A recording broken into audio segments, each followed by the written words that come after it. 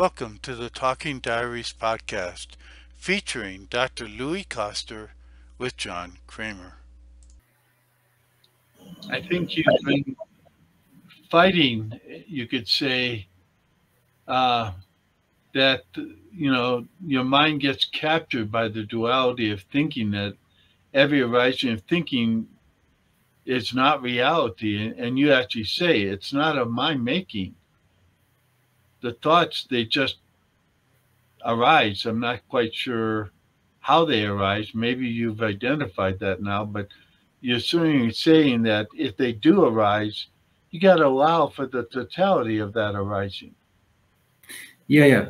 Yes. So so um, I may not speak to all aspects of what you just said, but I think it's worthwhile that one of the things that you said I think is very very much worthwhile speaking to. That is, if you just take a moment and let's say you close your eyes or or you just what you call you relax or something like that, you all let it be, so to speak. What you become conscious of is that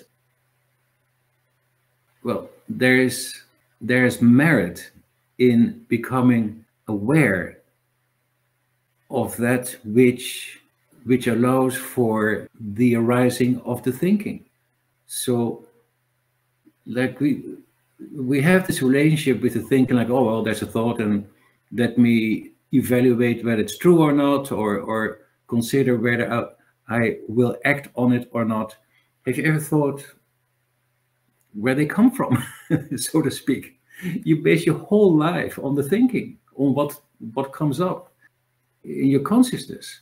So so if you take a moment to become aware of that which allows for the arising of the thinking, and with what I mean with that, so in my diary, I spelled that with a capital because it's beyond that is beyond language.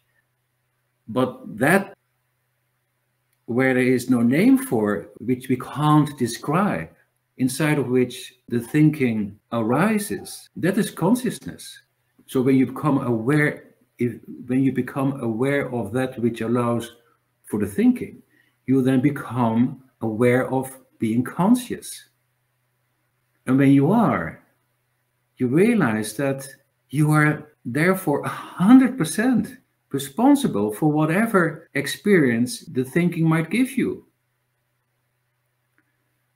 As well, it dispels the whole notion of an outside world because it is the thinking that creates this idea that you are responding to something, while the something is part of the thinking. That is the duality of the thinking in essence, uh, you're saying that all these thoughts that come up are, in some sense, of your making, but you don't have yes. to interact with them.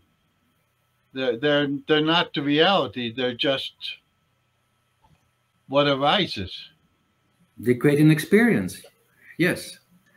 And it's not from the outside. So everything that thoughts have, the feelings, the emotions, all the uh, you got to do this and all that, they're all yes. part of, you know, you don't perceive them as coming from the outside, so you don't have to respond to them. That's also true, yes. They arise in your consciousness, in my consciousness. And so that insight in itself will have you absolutely stop complaining. It will interrupt all well whatever you you you might have gone on that the world is not behaving itself to your liking that inside there is no room for anything of that. You're completely i'm com- completely responsible for any aspect of my experience. Because they are of my own making. All of it. But it's not an intentional making. It's just what arises. Yeah, exactly.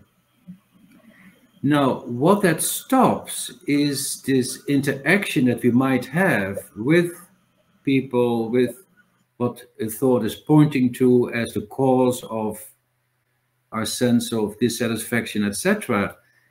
And when we do, you have more opportunity to just see it for what it is. Because it is the engagement that keeps us blind. It obscures our vision to see it exactly for what it is. It's just a thought, nothing else. It's not reality. Does that mean there's no reality? That's not what I said. It's just a thought. It's just a thought. Yeah, it's not my true and the experience that it creates, that's not my true reality. No, it's it's just a thought and it is an experience that it creates. Yeah? The thinking creates an experience of some sort. But it's not my true reality. The true reality is what happens once you get past that when you fall into being. Yes. Uh, or however you want to describe it. Yes. Thank you for listening to the Talking Diaries podcast featuring Dr. Louis Koster.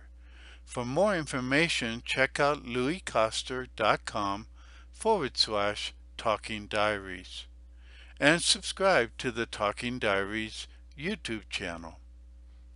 Also check out louiskoster.com forward slash quiz and take the free quiz to discover more about yourself.